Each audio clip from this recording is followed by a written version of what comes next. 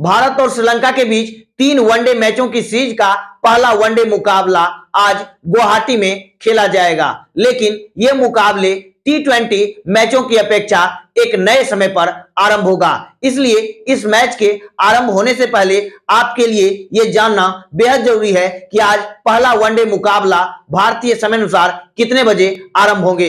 यहाँ तो हम आपको बताएँगे ही कि आज का पहला वनडे मुकाबला भारतीय समय अनुसार कितने बजे आरंभ होगा। लेकिन सबसे पहले हम इस मैच से संबंधित दो लेटेस्ट और महत्वपूर्ण खबर आपके सामने रखना चाहते हैं। पहली लेटेस्ट न्यूज़ यह है कि इस मुकाबले में जसप्रीत बुमराह आपको खेलते हुए नज़र नहीं आएँगे। क्योंकि कई क्रिकेट फैंस ये आस लगाए बैठे थे कि भारत और श्रीलंका के बीच पहले वनडे मुकाबले में जसप्रीत बुमराह को हम गेंदबाजी करते हुए देख सकते हैं। लेकिन अब यह स्पष्ट हो चुका है कि जसप्रीत बुमराह श्रीलंका के खिलाफ तीनों वनडे से बाहर हो गए हैं। इसलिए इस सीरीज़ में जसप्रीत बुमराह आपको खेलते हुए नज़र नहीं आएँगे।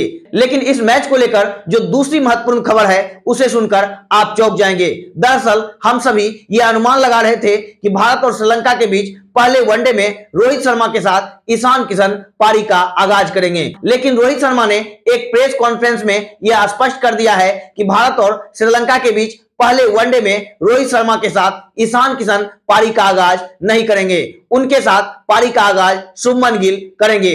तो यहाँ यह स्पष्ट हो गया है कि भारत और श्रीलंका के बीच पहले वनडे मुकाबले में रोहित शर्मा के साथ ईशान किशन ओपनिंग करने से चूक जाएँगे और उनके जोड़ीदार होंगे सुमन गिल अब हम आपको बता दें कि आज भारत और श्रीलंका के बीच पहला वनडे मुकाबला भारतीय समय अनुसार कितने बजे आरंभ होगा? तो आज भारत और श्रीलंका के बीच पहले वनडे मुकाबले के लिए भारतीय समय अनुसार दोपहर एक बजे टॉस उछाला जाएगा और इस मुकाबले की पहली गेंद दोपहर एक बजकर तीस मिनट पर फेंकी जाएगी।